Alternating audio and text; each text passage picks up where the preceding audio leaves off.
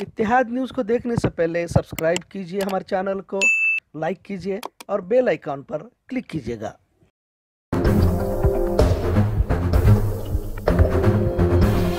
अस्सलाम वालेकुम रहमतुल्लाहि व इतिहाद न्यूज़ में आप सभी का खैर मकदम है। अहम खबरों पर एक नज़र। जिनकी फितरत में ही जहर फैलाना हो, वो अच्छी बात कर नहीं सकते, ऐसा कहा जाता है। लिहाजा भाजपा कायदी यासी शरप्पा ने। मुसलमानों को हम किसी हाल में टिकट नहीं देंगे कहकर एक तरह से मुस्लिम मुखालफत किस हद तक करते हैं, इसका सबूत पेश किया अब यह समझने के लिए कोई बहुत बड़ा ज्ञानी या तो फिर इल्मी दानिश्वर होने की ज़रूरत नहीं है कि भाजपा कायद मुस्लिम दुश्मनी की सियासत खेलकर अवाम को गुमराह करते रहते हैं। वैसे भारत एक सेक्युलर मुल्क है, यहाँ सभी धर्म भाषा जात पात को बराबर नज़र से देखने का हुक्म संविधान, यानी आईने हिंद देता है। पर इकतदार पजीर हुकूमत हर लम्हा किसी न किसी तरह से मुस्लिम माशरे को निशाना बनाकर अक्सरियत तबके को खुश करने की कोशिश में लगी रहती है। एक बार फिर अपनी सोच और फ़िक्र का इजहार करते हुए यश ईश्वरप्पा ने मुसलमानों को टिकट नहीं देंगे कहते हुए आगे कहा कि किसी शंकराचार्य के शागिर्द को तो टिकट दे सकते हैं, किसी संगोली रायन्ना के शागिर्द को टिकट दे सकते हैं, किसी चन्नम्मा के शागिर्द को तो दे सकते हैं, पर कतई तौर पर मुसलमानों को नहीं दे सकते। अब सवाल यह उठता है कि आखिर यह बात कहने की क्या ज़रूरत थी? लिहाजा आवाम में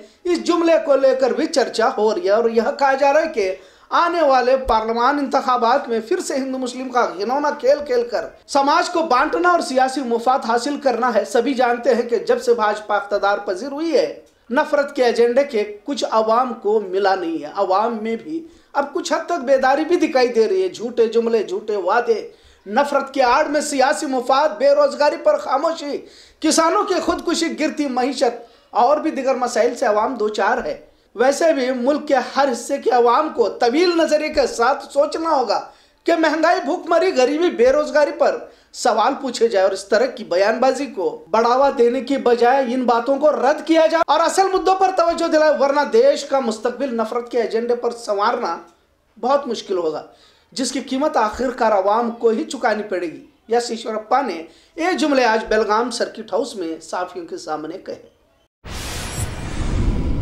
क्या बेलगाम शहर तरक्की की राह पर गामजन है? यह सवाल आम आवाम के जहन में आना इसलिए भी ज़रूरी है कि बेलगाम जिला में कई वज़ीर हैं। स्मार्ट सिटी का काम बेहद धीमी रफ्तार से चलने का इल्ज़ाम आवाम की जानब से लगाया जा रहा है। सीबीटी की सड़क पिछले दो सालों से बंद है। ऐसी कई सड़कें आधी अधूरी महीनों से बंद नज़र आ रही है। मास्क, हेलमेट पर जुर्माना वसूल तो किया जा रहा है, पर सवारियों के लिए बेहतर सड़क का इंतज़ार तवील होता जा रहा है। सियासी कायद, सियासत और तरक्याती कामों की कीमत तो वैसे भी आवाम को ही चुकानी पड़ती है। बेलगाम जिला वैसे भी कर्नाटक में सबसे बड़ा जिला कहा जाता है। पर अब इसके भी दो टुकड़े करने की चर्चा जारी है। अगर दो हिस्सों में बेलगाम जिला को तकसीम किया जाएगा तो आवाम को कितना फ़ायदा होगा? जो भी हो, फ़िलहाल तो। बेलगाम ज़िला में नायब वज़ीर अला के तौर पर लक्ष्मण सऊदी है तो जिलाई वज़ीर रमेश जारकीड़ी है और खुशी अहदे के साथ शंकर गौड़ा पाटिल है। दिगर मुख्तलिफ़ महकमाओं में भी, यानी कि निगम मंडल पर भी, बेलगाम जिला से कई लोगों को मुंतखब करने के इम्कान का इजहार है।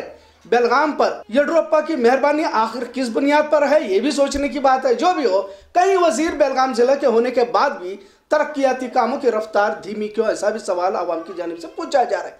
जल्द एक बार फिर रियासती वजरात की फहरिस्त तवील होने वाली है। जल्द उसका ऐलान भी होने वाला है, जिसमें बेलगाम वालों की किस्मत चमकने वाली है, ऐसा भी कहा जा रहा है। भले धीरे ही क्यों ना हो, पर शहर को खूबसूरत या साफ़ सफ़ाई के साथ रखने की कोशिश। कारपोरेशन की जानब से जारी है। वैसे अक्सर कचरा उठाने वाली गाड़ी सुबह आती है, पर देखा यह जा रहा है कि कुछ लोग दोपहर के बाद भी सड़कों पर कचरा फेंकते हुए सफ़ाई का ख्याल नहीं रखते। पर अब कारपोरेशन बेलगाम की जानब से दोपहर दो बजे से पाँच बजे के दरमियान भी कचरा उठाया जाएगा और साथ में जो लोग जानबूझकर सड़क पर कचरा फेंकते हैं, इन पर कानूनी कार्रवाई, जुर्माना भी लगाया जाएगा। रात आठ से ग्यारह बजे तक कारपोरेशन का आमिला वॉकी टॉकी के साथ गश्त करता रहेगा, क्योंकि कुछ जगहों का पता लगा लिया गया है जहाँ पर रात में कचरा फेंका जाता है। अब इन पर जुर्माना लगाया जाएगा। बरोज बुध मीटिंग तलब फरमाई गई थी, जिसमें कारपोरेशन के आला अफसर और मुलाजमीन ने शिरकत फरमाई थी। कुछ मोहल्लों में सुबह कचरा साफ़ करने के बाद भी दोपहर और रात में कचरा फेंक दिया जाता है। लिहाजा दोपहर को भी कचरे की गाड़ी गश्त करेगी और रात में कचरा फेंकने वालों पर जुर्माना लगाया जाएगा। मीटिंग में महांतेश नरसन्नावर और संजय डुंगोड़ के जेर मातहत अंजाम दी गई थी। टीपू सुल्तान नगर हुंचा नट्टी की सड़क बेहद खराब है। यहाँ से सवारियों को लेकर जाना काफ़ी दुश्वार होता जा रहा है। कई बार फरियाद दर्ज करने के बावजूद भी इस तरफ़ तवज्जो नहीं दी जा रही। लिहाजा टीपू सुल्तान नगर के अवाम ने आज रास्ता रोको कर अपना एहतजाज दर्ज किया।